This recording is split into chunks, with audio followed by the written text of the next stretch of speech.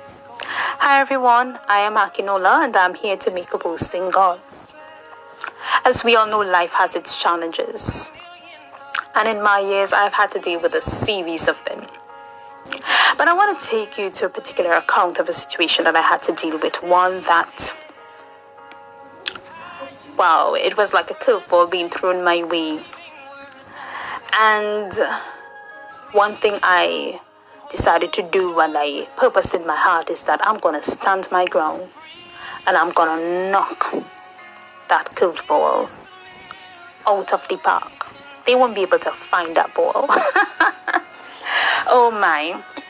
And it's important that we make proclamations like that. It's important that we say things like that when we're going through our situations because according to the word of God, we overcome by the blood of the Lamb by the word of our testimony. And the testimony isn't just after the fact and after we've overcome, but it is what you say and what you do during your testing.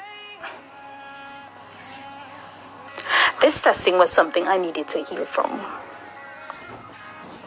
Something that could affect um, my future interactions with persons, and I knew that I had to, and so I purposed in my heart that I refused to be broken and that I am going to be healed. And ladies and gentlemen, I am proud to say that I am healed, and I am healed not because of my own accord. I am healed because of Jesus Christ. I'm healed because of Almighty God. I'm healed because I allow because I allowed His word to transform my life. I allowed His word to to to, to take control of my mind because just in case you don't know, there's where the real battle is in your mind.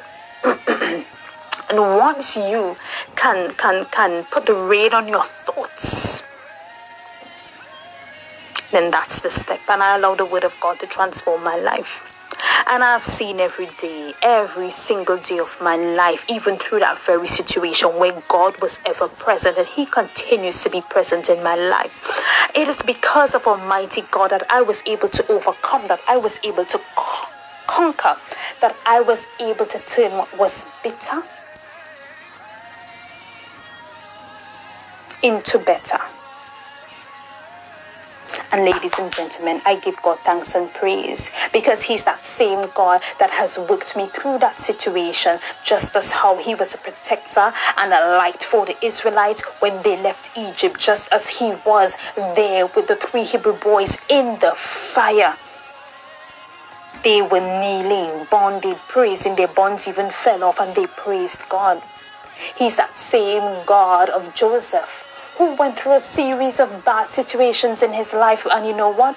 He was able to come out victorious, the second in command in Egypt, from prison to the palace. And he's that same God when Silas and Paul were in prison, shackled, and they prayed and they praised God. And the earthquake came, and the door flew open, and the shackles fell off them. He's that same God.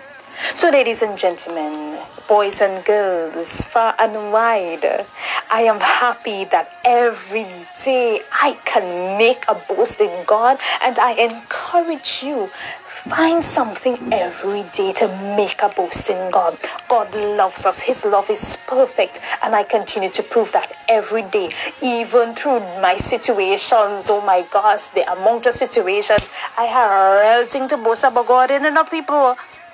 However, I chose to share this one. And I really pray it's an encouragement to you that God is alive, He is real, and I will continue to make a boast in Him. Love you guys.